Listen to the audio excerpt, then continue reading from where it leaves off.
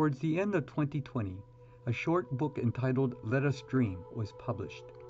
It is a most personal and thoughtful reflection by Pope Francis, written in a conversation he had with Austin Ivereigh. It was written with the backdrop of COVID 19. So much of his reflection has to do with how we are responding to this pandemic. The book is divided into three sections using the familiar reflection process. See, choose, and act. It is intended to exhort us to walk Francis's path to a better future, as named in the subtitle. Little did Pope Francis know that on January 6, 2021, not even a month after the publication of his book, Let Us Dream, there would be an insurrection in Washington, D.C., led by President Trump's supporters. Many news sources have reported on this event, and countless commentaries have been written about it. One that I have found most compelling is a short video produced by Bishop Robert Barron entitled we need a national examination of conscience, which is presented in this presentation. Hey everybody, it's Bishop Barron. Like everybody else in the country, I've been watching these uh, appalling images from Washington, D.C. I was just there not long ago. And to see these violent, riotous mobs inside of the U.S. Capitol, someone um, with his shirt off and a crazy hat on standing at the presidential rostrum in the Senate, uh, they they appalled me. I mean, not just as an American, but as a as a Christian. You know, what striking me was this. Uh, just a few months ago, I read a book on uh, Abraham Lincoln's uh, first inauguration, and there was great concern at the time, at the greatest national crisis in our history, there was concern that they wouldn't be able to count the electoral votes, and they managed to do it in 1861. Something which, just amazingly, we were not able to do today.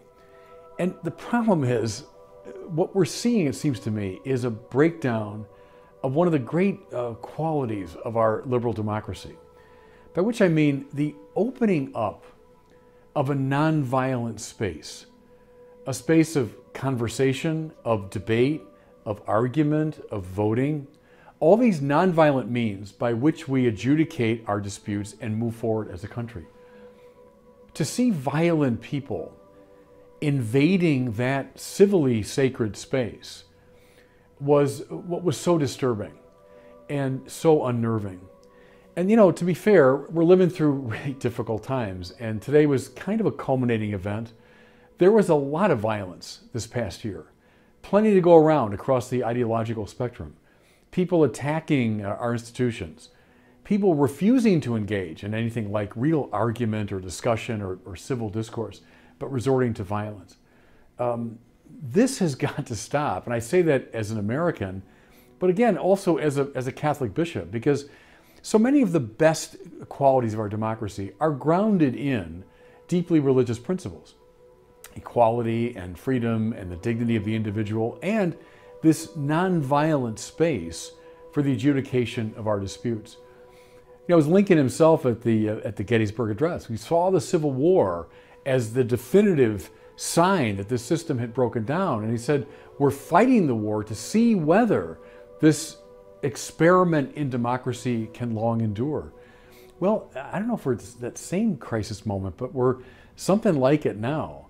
And I think all of us have to engage in a sort of national examination of conscience and really look at the way, and this is across the board, this is from social media to our streets and now to the Capitol itself.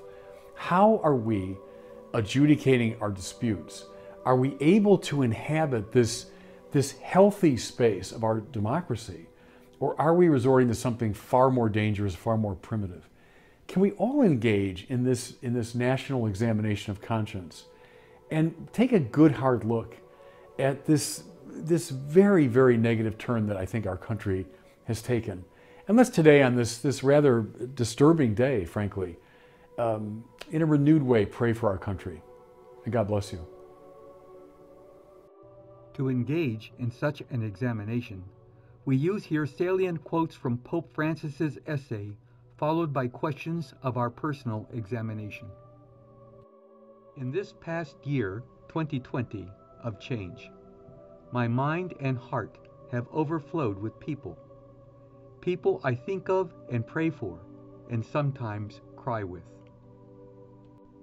People with names and faces. People who died without saying goodbye to those they loved. Families in difficulty, even going hungry because there's no work. Sometimes, when you think globally, you can be paralyzed.